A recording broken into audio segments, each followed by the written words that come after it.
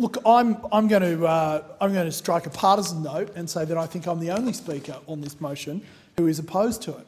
Um, the reason that I'm opposed to it is because I think the government is already doing all the things that this motion speaks to.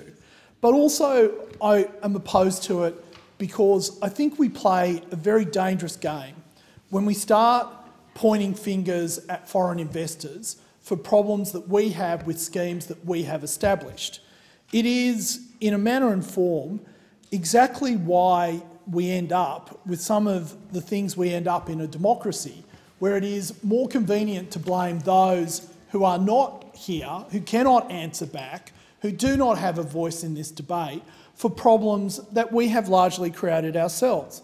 The member for Mayo rightly speaks to Australia being one of the driest continents in the world and that we have experienced one of the worst droughts in our history. The government has responded to that. It provided $8 billion in assistance and concessional loans to primary producers. Um, no one in this country uh, bemoans the fact that we did this at a very important time for primary producers.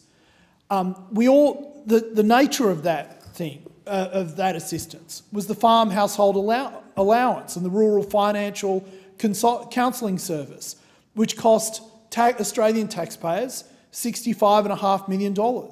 That was done through the Drought Community Initiative. It, we provided $3,000 to farmers, to farm workers, to suppliers, to contractors who were facing hardship due to the drought. We also provided $29.9 million for mental health and wellbeing support, a two-year interest-free drought loan for farmers, tax relief, the provision of 100 gigalitres of water for fodder production.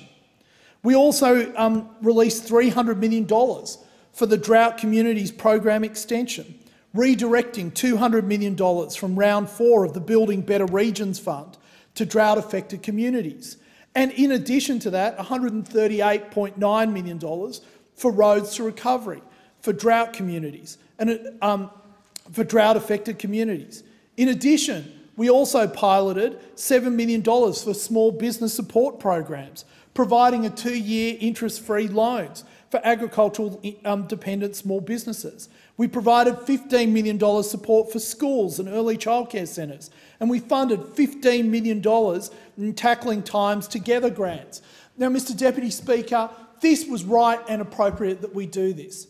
But how many other businesses in Australia get that sort of support? How many times have Australian taxpayers stood up for people like that? The people in my electorate, in my part of Sydney, when the dollar drops by 50 cents and their cost of production goes up 100%, they don't get that sort of support. When they find that they can't get raw materials because some foreign government has decided to close the ports, the Australian taxpayer and the Australian government doesn't step in to assist them in the same way that this parliament, time and time again, steps in to help Australian farmers. We included a 5 billion future drought fund to, so this doesn't have to go on again and again and again.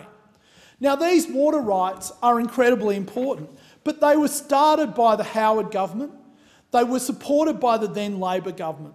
But no one to this debate yet has, to, has spoken about the fact of the waste and mismanagement of our water resources in Australia by local councils. No one stands here in this parliament and holds them account. How many times have we seen, in particularly in regional and rural um, New South Wales, that the same person who throws the chlorine tablets into the Olympic pool is also the same person in charge of managing the water resources for a local um, town. Australians, especially those in rural and regional areas, deserve better. We must demand better from them, for them. We talk about, um, we talk about um, waste of water, but no one wants to talk about the environmental flows that have led to the lower lakes that have seen 800 gigalitres, as the member for Indi, uh, the member for Mallee pointed out, um, that have gone, at, uh, that evaporate. That sort of waste and mismanagement is okay, apparently, because we put environment in the front of it. But no, no, it is far easier to blame foreign investors. I think